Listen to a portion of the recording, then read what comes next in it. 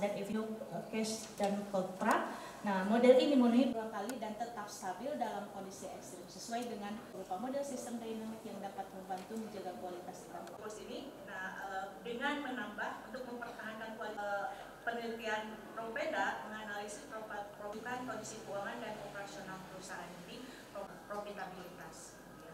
Jadi pendekatan ini berdasarkan dari Tujuan dari penelitian ini eh, adalah yang kan ada empat ya empat, empat ya. pertama itu eh, saya memetakan dulu rantai pasok ikan beku. Ini tentang ikan beku ya untuk eh, riset saya.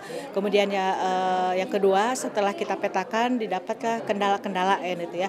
Sehingga dari situ saya bisa membuat model sistem dinamik eh, model besarnya secara keseluruhan dari eh, apa namanya eh, sistem eh, rantai pasok ikan beku di Karongsong yaitu yang lokusnya itu di Karongsong Indramayu.